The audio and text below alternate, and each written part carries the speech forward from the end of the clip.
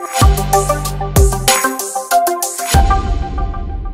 A lo largo de la ceremonia de clausura de la primera reunión con autoridades de mancomunidades municipales en Calca, Cosco, Guido Bellidugarte, congresista de Perú Libre, indicó que los trabajos que el presidente no serían transmitidos por los grandes medios de comunicación ni serán tomados en cuenta porque sueñan y piensan vacar al jefe de Estado. Sin embargo, Bellidugarte aseguró que no podrán y si se atreven será su sepultura porque pueden pensar que por el hecho de que tienen los votos o pueden comprar congresistas para lograr los votos para vacar al presidente, se termina ahí. Pero no es así porque el pueblo entenderá que hay un antes y después de Pedro Castillo. Asimismo, señaló que era mentira que no había profesionales en el pueblo, porque ahí estaban, pero antes no les dieron oportunidad, porque para ser funcionaria tenían que ser de una universidad en específico, pero eso se acabó. De igual manera, reiteró que tiene el soporte político que necesita en el Congreso, porque ante el acoso y asedio político responderán con contundencia, pues están en condiciones de debatir y sacar adelante el país que ya vivió muchos años de corrupción. Es más, apuntó que hay que luchar y comprometerse con la lucha contra la corrupción, porque están poniendo trampas con la finalidad de cercar al presidente. Entre esas está Carolín López Arredondo, quien podría haber sido enviada por la oposición, pero no podrán. Bellido Ugarte mencionó que también mandan un periodista mermelero internacional,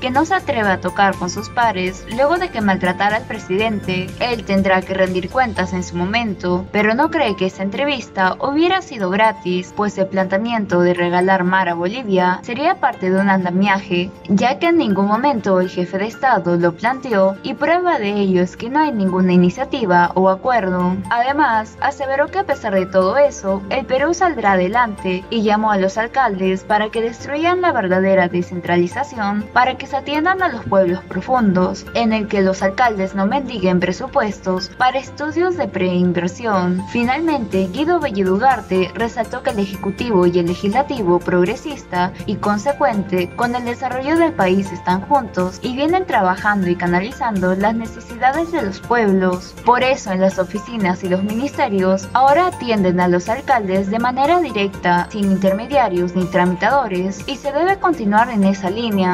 transmitida por las grandes medios de comunicación. No será tomada en cuenta, pero el pueblo llevará en el corazón. Porque ellos sueñan, piensan con vacar al presidente Pedro Castillo. Si se atreven, va a ser su sepultura, porque ellos pueden pensar por el hecho que tienen los votos o por el, hecho, por el hecho que pueden comprar algún congresista para tener los votos para vacar al presidente, se termina ahí. No. El pueblo y el país y el mundo va a entender que hay un antes de Pedro Castillo y un después del Pedro Castillo. Señor presidente, nos dicen que el pueblo no tiene profesionales. Mentira. Aquí están los funcionarios. Aquí están los profesionales. Es verdad, antes no han dado oportunidad. Antes necesitabas, tenías que ser de una universidad en especial para ser funcionario. Señor presidente, para terminar, quiero reiterar que tiene usted el soporte político, el soporte que requiere desde el Congreso de la República. Nosotros, en la medida del asirio en la medida del acoso político a su gobierno, vamos a responder con contundencia. Estamos en condiciones de debatir y de sacar adelante el país frente a los años de corrupción que han existido en este país. Con esta lucha contra la corrupción. Es verdad que vienen poniendo trampas, que quieren cercar, que mandan a su Carelín López para que busque algunos resquicios para querer manchar al presidente de este gobierno, pero no van a poder. Es verdad que se trae un periodista mermelero internacional, un miserable que no se atreve a chocar con sus padres a querer maltratar a un presidente de la República. Él tendrá su momento, él tendrá su hora para que entreviste también a otras personas que sí, que sí, va a tener que rendir cuentas, porque no creo que haya sido gratis para que le acose, para que digan que usted y alguna vez o que usted ha planteado regalar mar territorial. ¿Qué tales sinvergüenzas? Cuando el presidente en ningún momento ha planteado eso. Ninguna iniciativa, ningún acuerdo, absolutamente. Es todo un andamiaje. A pesar de todo eso, el Perú va a salir adelante, presidente. Queridos hermanos alcaldes, construyamos la verdadera descentralización. Y reitero aquí, como cuando hemos sido presidente del Consejo de Ministros, hemos dicho claro, tiene que atenderse a los pueblos profundos. Y un gesto de eso es que nuestros alcaldes no estén mendigando presupuesto para estudios de preinversión.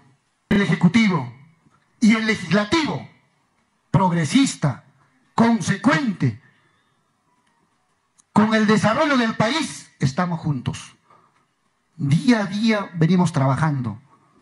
Día a día venimos canalizando las necesidades de nuestros pueblos.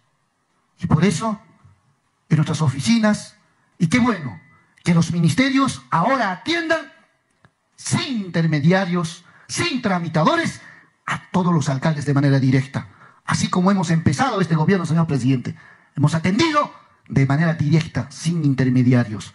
Y hay que continuar. Y nosotros vamos a continuar en esa brega. Muchísimas gracias, muchos éxitos a todos los alcaldes del Perú profundo y a todos los peruanos que luchan por el desarrollo del país. ¿Y tú qué opinas de lo manifestado por Guido Bellido Ugarte en contra de los grupos opositores al gobierno de Pedro Castillo? Déjame saberlo aquí en la cajita de los comentarios. Si eres nuevo en este canal, no te olvides darle like, suscribirte y activar la campanita de notificaciones para mantenerte siempre actualizado con noticias nacionales. Hasta la próxima.